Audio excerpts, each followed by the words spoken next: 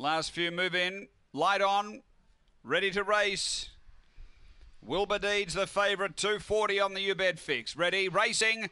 It pinged out. Wilbur Deeds is looking for the lead. Wanted to use a touch of the track. Moving up to Mora Flash. They go to the first bend, and now Wilbur Deeds down to the rail leads. Out by a half to a length. Now a length and a half on Demora Flash. Two away, Rusty Sprocket. Uh, two to see Hannah Rose for Valor. Then Cindy Moment, Lectra Menzel, and Garnett back last off the back. Wilbur Deeds by four. Demora Flash does the chasing. Then Rusty Sprocket. They straighten. Wilbur Deeds is clear over Demora Flash, and the favourite gets in. Uh, Wilbur Deeds first. Demora Flash second, third Rusty Sprocket, and then came Garnet. Uh, they were followed by Sienna Rose, four Valor, Cindy Lamoment, and back at the tail is Lectra Menzel. The time, it's a good run. We stand by. It looks to be around the 29.7 mark.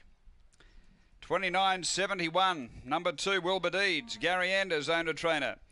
A Black Dog, August 2015, Oaks Road, Mapungalana. Number two, uh, second, going the way of seven. And uh, number seven, second, it's 275. Demora Flash, Tracy Price, a black bitch, September 2015. Cosmic